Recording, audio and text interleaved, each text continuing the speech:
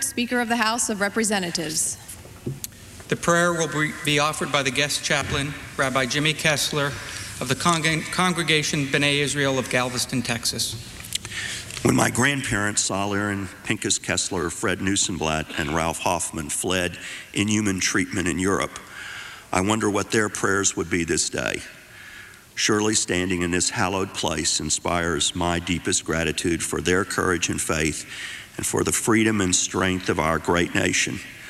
Moreover, though it may be routine for some of you in this room today, it is truly an awesome moment for me to realize those who have stood here before me and to be privileged to occupy that same space. Cognizant of this precious moment, I have chosen words that I believe echo feelings shared by many of my fellow citizens that in this chamber are 435 of the choicest blessings our country possesses. In each of you are our dearest wishes, our choicest hopes, and our sincerest aspirations for today and all the tomorrows. Please know that you carry in your words and in your hands our special trust.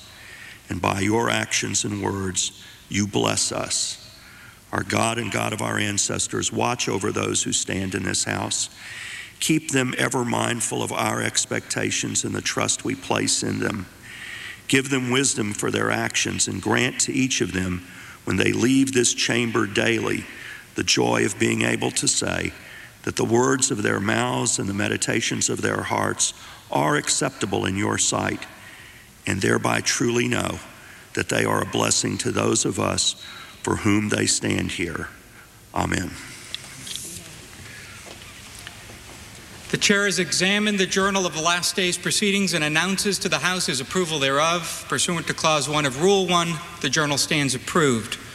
The Pledge of Allegiance will be